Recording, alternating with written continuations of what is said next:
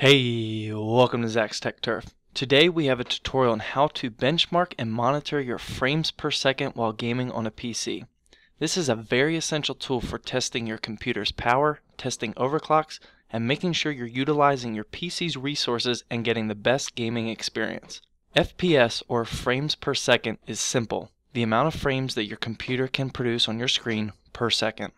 For reference, quote, next gen consoles are still only outputting 30 frames per second on some games. This may seem low, but consoles are able to produce a very steady 30 FPS, so it doesn't look as bad as you may think. Keep this in mind when you're setting your graphics setting and attempting to retrieve a set frame rate. Personally, 60 frames per second is what I aim for. A steady 60 frames per second produces a very clean gaming experience and definitely beats out a console any day. However, everyone has a different frames per second tolerance, so set your graphics accordingly. Okay, enough about what frames per second is and how many frames per second you want to achieve.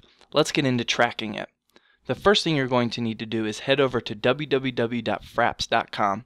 If you haven't heard of Fraps by now, it's a real-time video capture and benchmarking software. I don't recommend this software for video capture because there are a ton of other great options out there. Looking at you, NVIDIA Shadowplay but it's one of the cleanest and lightweight frames per second counters out there. Once you're on the site, click download from the top and download the latest setup file. This is a very small file, less than 5 megabytes. Once downloaded, open up the setup.exe file and click run and then I agree. Select an install location, the default location should be fine, and click next and then install. Close the installer and you're ready for the next step, actually using Fraps. Now, Open up Fraps and you will see four sections at the top, General, FPS, Movies, and Screenshots. Under the General tab, you will find basic settings for the software, such as Start Fraps Minimized, Run Fraps when Windows starts, and so on. I left these on the default setting and went straight to the FPS tab. In this section, first you can set the location where to save your benchmarks. In this folder, every time you benchmark your FPS, it will create a text file where it will display the settings that you have chosen also in this section. You can pick FPS, frame times, and min-max average benchmarks. You can also set the benchmark to stop after a certain amount of seconds.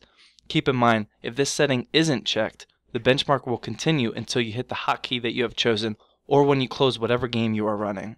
Finally, you can simply monitor your FPS by just having Fraps open when in-game. Fraps will output your active FPS counter in the corner of your choosing. I hope this tutorial was enough for you guys to learn exactly how to monitor and benchmark your frames per second while PC gaming. PC gaming is elite compared to consoles because of the ability to tweak your hardware and your settings to produce the best quality gaming experience. If you have any questions at all, please feel free to leave them in the comments section and I will answer them. As always, thank you for watching and please subscribe for more Zach's Tech Turf videos.